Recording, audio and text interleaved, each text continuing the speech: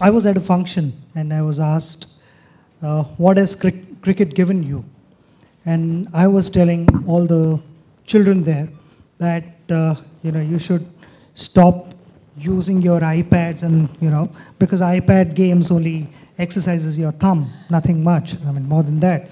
You know, you need to go outdoors and, uh, though my grandmother at one stage ended up telling me that, why do you want to be out in the sun? Just play chess or carom.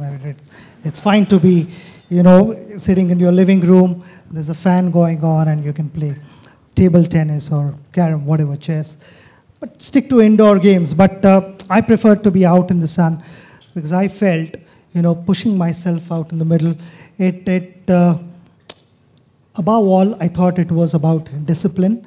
It was about character if, if you are fit, you are able to concentrate.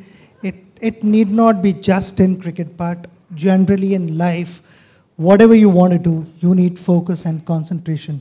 And any sport that you engage in, which, uh, which, has, uh, which, which you need to have decent fitness level, allows you to do a lot of other things in life. And I thought that was really, really important for me.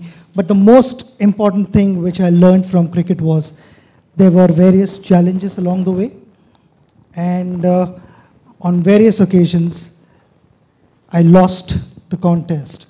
But it taught me how to get up again and wake up and start a day fresh and look forward to another challenge in the right spirit. I'm worried about the IPL. In fact, I fear it shouldn't be there at all as it is changing the priorities of world cricket.